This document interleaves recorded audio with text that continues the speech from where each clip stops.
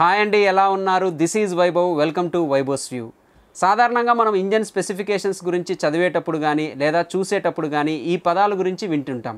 ఉదాహరణకు single cylinder four stroke two valve four valve SOHC DOHC మొదలైనవి. అసలు ఈ పదాలకు అర్థం ఏమిటి? వీటి గురించి మీరు తెలుసుకోవాలనుకుంటే ముందుగా మీరు ఇంటర్నల్ కంబషన్ ఇంజన్ అంటే ఏమిటి? అది ఎలా పనిచేస్తుందో కూడా తెలుసుకోవాలి. సో ఈ వీడియోలో మనము డీటెయిల్డ్గా ఇంటర్నల్ కంబషన్ ఇంజన్ ఎలా వర్క్ అవుతుందో మీకు తెలియజేస్తాను. మరి ఇంకా లేట్ ఎందుకు? Let start the video internal combustion engine గురించి చెప్పే ముందు అసలు కంబషన్ ప్రాసెస్ ఏమిటో తెలుసుకుందాం. సాధారణంగా కంబషన్ ప్రాసెస్ అంటే గాలిలో ఉండే ఆక్సిజన్ని ఫ్యూయల్తో మండించినప్పుడు థర్మల్ ఆర్ హీట్ ఎనర్జీని ప్రొడ్యూస్ చేస్తుంది. ఇదే ప్రాసెస్ మనకు ఇంటర్నల్ కంబషన్ ఇంజన్లో కూడా వర్క్ అవుతుంది.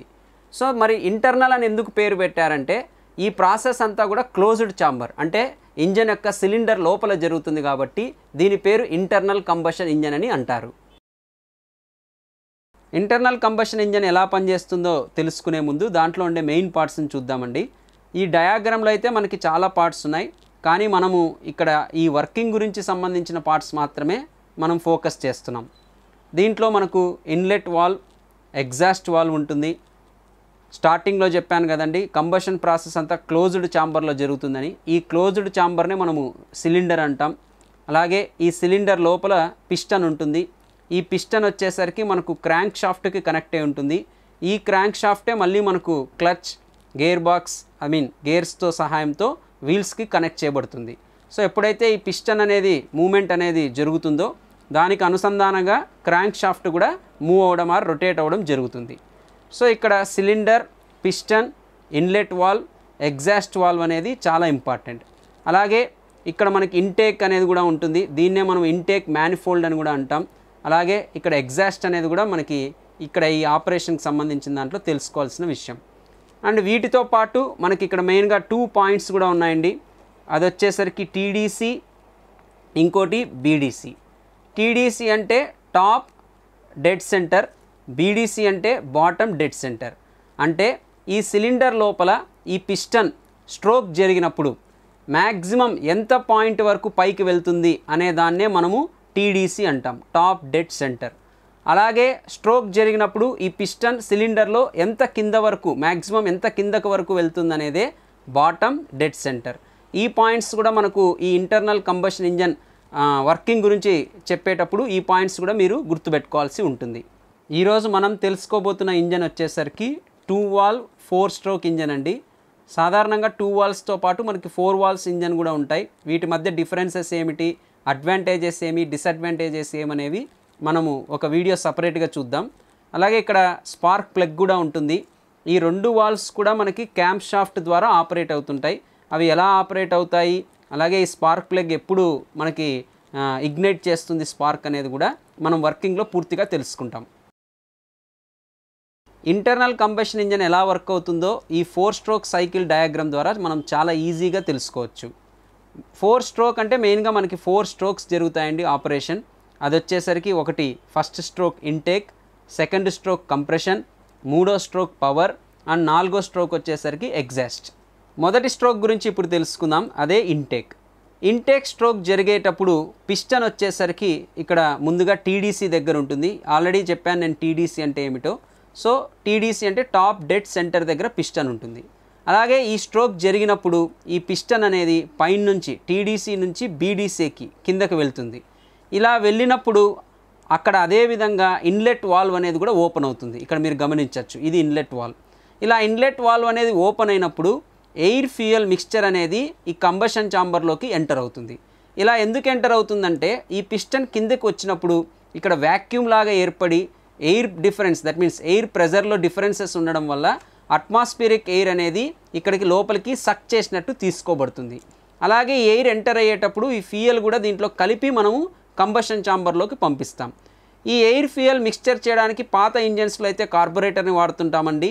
అదే ఇప్పుడు కొత్త ఇంజ కొత్త ఇంజన్స్లో అయితే మనకు ఫ్యూయల్ ఇంజెక్టర్స్ ద్వారా ఎయిర్లోకి ఫ్యూయల్ని ఇంజెక్ట్ చేసి ఇంటేక్ మ్యానిఫోల్డ్ ద్వారా మనం కంబషన్ ఛాంబర్లోకి పంపిస్తాం. సో ఎప్పుడైతే ఫస్ట్ స్ట్రోక్ అంటే ఇక్కడ టీడీసీ నుంచి పిస్టన్ బీడీసీకి వెళ్తుంది అదేవిధంగా ఇన్లెట్ వాల్వ్ అనేది ఓపెన్ అవుతుంది. ఎప్పుడైతే ఇన్లెట్ వాల్వ్ అనేది ఓపెన్ అవుతుందో ఇక్కడ వ్యాక్యూమ్ లాగా ఏర్పడడంతో ఈ ఎయిర్ ఫ్యూయల్ అంటే ఎయిర్ ప్లస్ పెట్రోల్ అనేది కలిపి ఈ కంబషన్ ఛాంబర్లోకి ఎంటర్ అవుతుంది. సో దీన్నే మనము మొదటి స్ట్రోక్ అంటాం అదే intake stroke. So second stroke వచ్చేసరికి కంప్రెషన్ స్ట్రోక్ అండి. ఆల్రెడీ ఇంతకుముందు నేను చెప్పాను ఇంటేక్ స్ట్రోక్ అంటే టాప్ డెడ్ సెంటర్ నుంచి బాటమ్ డెడ్ సెంటర్కి వచ్చినప్పుడు దాన్ని ఒక స్ట్రోక్ అంటాం అది ఇంటేక్ స్ట్రోక్. సో ఇంటేక్ స్ట్రోక్లో ఏం జరిగిందో ఇందాకంతా చూసాం. ఇప్పుడు కంప్రెషన్ స్ట్రోక్ వచ్చేసరికి పిస్టన్ అనేది బాటమ్ డెడ్ సెంటర్ నుంచి టాప్ డెడ్ సెంటర్కి వెళ్తుంది. ఈ క్రమంలో మీరు గమనించాల్సింది ఏమంటే వాల్వ్స్ కూడా మనకి క్లోజ్ పొజిషన్లో ఉంటాయి. అంటే ఇంటేక్ వాల్వ్ అలాగే ఎగ్జాస్ట్ వాల్వ్ రెండు కూడా క్లోజ్ ఉంటుంది. సో ఇక్కడ ఏదైతే మనకి ఎయిర్ ఫ్యూయల్ మిక్స్చర్ ఉందో ఈ కంబషన్ ఛాంబర్లో ఈ స్ట్రోక్ జరిగేటప్పుడు అంటే కింద నుంచి పిస్టన్ పైకి వెళ్ళేటప్పుడు ఇది చాలా ప్రెజర్తో కంప్రెస్ అవ్వడం జరుగుతుంది. అందుకే దీని పేరు కంప్రెషన్ స్ట్రోక్ అని కూడా అంటాం. థర్డ్ స్ట్రోక్ వచ్చేసరికి పవర్ స్ట్రోక్ అండి. ఇప్పుడు ఈ స్ట్రోక్ జరిగేటప్పుడు కంప్రెషన్ స్ట్రోక్ అయిపోయింది కాబట్టి ఇప్పుడు మళ్ళీ పిస్టన్ అనేది టాప్ డెడ్ సెంటర్లో ఉంటుంది. అలాగే ఇక్కడ ఎయిర్ ఫ్యూయల్ అనేది కూడా చాలా హై ప్రెజర్తో కంప్రెస్ చేయడం జరిగి ఉంటుంది. ఎప్పుడైతే ఈ థర్డ్ స్ట్రోక్ వచ్చేసరికి ఇక్కడ స్పార్క్ ప్లగ్ కూడా చాలా హై వోల్టేజ్తో ఒక స్పార్క్ని ఇగ్నైట్ చేస్తుంది అంటే అగ్గిని రాజేస్తుంది. అప్పుడు ఒక బ్లాస్ట్ లాగా జరిగి ఏ ఏమవుతుందంటే ఈ పిస్టన్ చాలా ఫోర్స్తో మనకి టీడీసీ నుంచి బీడీసీకి కిందకి నెట్టబడుతుంది. అదేవిధంగా అప్పుడు ఇక్కడ పవర్ అనేది జనరేట్ అవుతుంది. ఇందాక మనం చెప్పినట్టు స్టార్టింగ్లో ఈ పిస్టన్ అనేది క్రాంక్ షాఫ్ట్కి కనెక్టింగ్ రాడ్స్తో కనెక్ట్ అయి ఉంటుంది. ఎప్పుడైతే ఇది ఫోర్స్తో కిందకి నెట్టబడుతుందో ఈ క్రాంక్ షాఫ్ట్ కూడా రొటేట్ అవ్వడం జరుగుతుంది. ఇంకా ఫైనల్ స్ట్రోక్ వచ్చేసరికి ఎగ్జాస్ట్ స్ట్రోక్ అండి. సో పవర్ స్ట్రోక్లో మనకి తెలిసిందే కదా కంబషన్ ప్రాసెస్ జరుగుతుంది. ఈ కంబషన్ ప్రాసెస్ జరిగినప్పుడు ఇక్కడ కొన్ని గ్యాసెస్ కూడా వెలువడతాయి. సో ఈ గ్యాసెస్ని మనకి ఫైనల్ స్ట్రోక్లో బయటికి పంపించడం జరుగుతుంది. సేమ్ ఇక్కడ కూడా అంతేనండి. మళ్ళీ మనకి పిస్టన్ అనేది బాటమ్ డెడ్ సెంటర్ నుంచి టాప్ డెడ్ సెంటర్కి మూవ్ అవుతుంది. కాకపోతే ఇక్కడ గమనించాలి ఇక్కడ ఎగ్జాస్ట్ వాల్వ్ అనేది ఇప్పుడు ఓపెన్లో ఉంటుంది.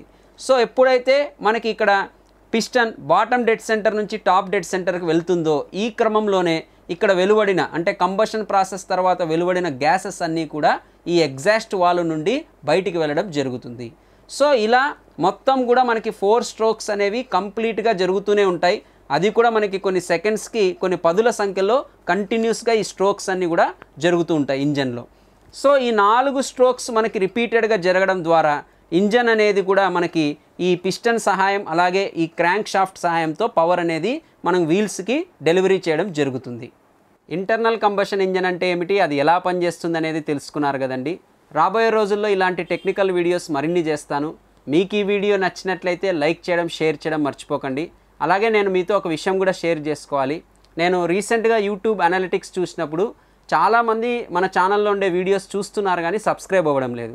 సో దయచేసి సబ్స్క్రైబ్ అవ్వండి నాకు మరింత సపోర్ట్ని ఇవ్వండి. సో దాని ద్వారా నేను ఇంకా మరిన్ని మంచి వీడియోస్ చేయడానికి మీరు ప్రోత్సహించిన వాళ్ళు అవుతారు. సో మరొక వీడియోతో అతి త్వరలోనే మిమ్మల్ని కలుస్తాను. Until then this is Vaibhav signing off bye bye